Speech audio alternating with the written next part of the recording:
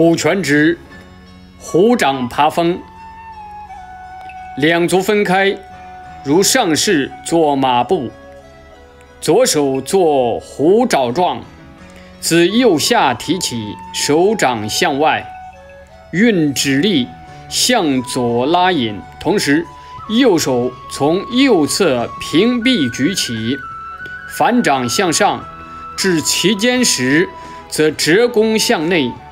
只作虎爪形，如抓物带回之状。身向正前方，头偏于右，目突视右手。